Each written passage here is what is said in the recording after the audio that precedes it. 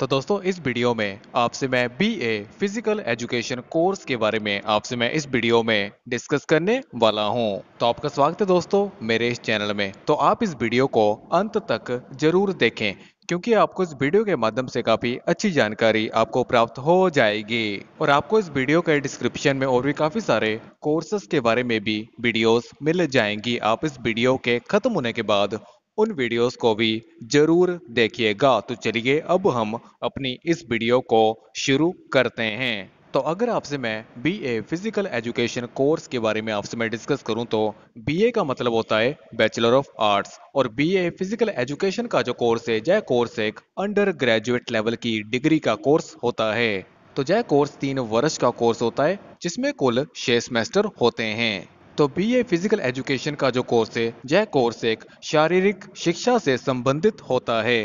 तो जय एक ऐसा कोर्स है, जिसमें स्टूडेंट्स को फिटनेस स्पोर्ट्स गेम्स और शारीरिक गतिविधियों के बारे में स्टडी करवाया जाता है। तो बी ए फ़िज़िकल एजुकेशन में स्टूडेंट्स को शारीरिक शिक्षा के साथ साथ थ्योरिटिकल की जो नॉलेज होती है, वो भी स्टूडेंट को दी जाती है। इस कोर्स में शारीरिक स्वास्थ्य, व्यायाम, विज्ञान खेल कूद योगा एक्सेट्रा चीज़ें स्टूडेंट्स को पढ़ाई जाती हैं। इसमें आपको व्यायाम, विज्ञान के बारे में भी आपको पढ़ाया जाता है, जिसमें आप जिसमें आप शारीरिक गतिविधियों के साइंटिफिक प्रिंसिपल्स शारीरिक अभिक्रिया, आहार, स्वास्थ्य, व्यायाम प्रक्रिया एक्सेट्रा चीज़ों का आपको ज्ञान प्रदान होता है। इसमें आपको खेल कूद के तरीके भी आपको सिखाए जाते हैं, जिसमें आपको खेल कूद के तरीके, नियम और उनमें उपयोग होने वाली व्यवस्थाओं के बारे में भी आपको सिखाया जाता है। आपको योग के बारे में भी आपको पढ़ाया जाता है, जो कि आपकी मानसिक स्वास्थ्य के लिए काफ़ी महत्वपूर्ण रोल प्ले करती है। तो इस कोर्स को पूरा करने के बाद दोस्तों, आप जॉब की काफ़ी सारी अच्छी पॉसिबिलिटीज आप पा सकते हो।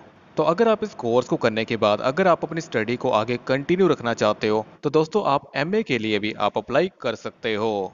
अभी आपसे मैं एलिजिबिलिटी क्राइटेरिया के बारे में आपसे मैं डिस्कस करने वाला हूँ कि जिन्हें आप इस कोर्स में आखिर किस प्रकार से एडमिशन ले सकते हो। तो इस कोर्स में आपको एडमिशन लेने के लिए दोस्तों आपको जो ट्वेल्थ की जो क्लास है, उसे आपको पास करनी पड़ेगी। आपको जो ट्वेल्थ की जो क्लास है, उसे आपको फिफ्टी परसेंटेज मार्क्स से ज़्यादा आपको पास करनी पड़ेगी। तो तभी आप इस कोर्स के लिए एलिजिबल हो पाओगे। तो आप ट्वेल्थ की क्लास आप किसी भी स्ट्रीम में पास कर सकते हो। और साथ में दोस्तों, मैं आपको ये भी बताना चाहता हूँ कि काफ़ी सारी यूनिवर्सिटीज़ का जो एलिजिबिलिटी क्राइटेरिया है, इस कोर्स के रिगार्डिंग वो डिफरेंट भी हो सकता है। अभी आपसे मैं जॉब प्रोफाइल्स के बारे में आपसे मैं डिस्कस करने वाला हूँ कि जिन्हें अगर आप इस कोर्स को पूरा कर लेते हो, आपको किस प्रकार की जॉब मिल सकती है। तो दोस्तों, आप स्पोर्ट्स मैनेजर बन सकते हो, आप स्पोर्ट्स न्यूट्रिनिस्ट बन सकते हो, आप फ़िज़िकल थेरेपिस्ट बन सकते हो, आप स्पोर्ट्स कोच बन सकते हो आप फ़िज़िकल एजुकेशन टीचर बन सकते हो। इसके अलावा दोस्तों, आप पर्सनल ट्रेनर की जो जॉब है, उसे भी आप हासिल कर सकते हो। तो जैसा आपकी पर्सनल स्किल और नॉलेज के ऊपर डिपेंड करता है कि आपको कौन से सेक्टर में आपको जॉब मिल सकती है। अभी आपसे मैं सिलेबस के बारे में आपसे मैं डिस्कस करने वाला हूँ कि जिन्हें आप इस कोर्स में आखिर किस प्रकार का जो सिलेबस होता है, उसे आप स्टडी करते हो।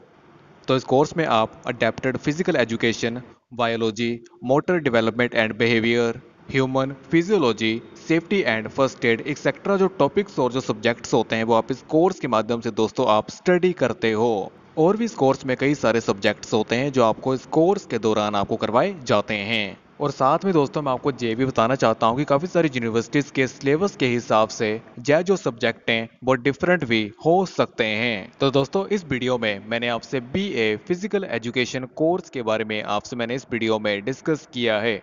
मुझे लगता है कि आपको इस वीडियो के माध्यम से काफ़ी अच्छी जानकारी आपको प्राप्त हुई होगी। और अगर आपको किसी भी प्रकार का कोई डाउट है तो दोस्तों आप नीचे मुझे कमेंट बॉक्स में कमेंट करके पूछ सकते हो। नहीं तो आपको इस वीडियो के डिस्क्रिप्शन में और भी काफ़ी सारे कोर्सेस के बारे में भी वीडियोस मिल जाएँगी। आप उन्हें भी एक बार जाकर ज़रूर देख सकते हो।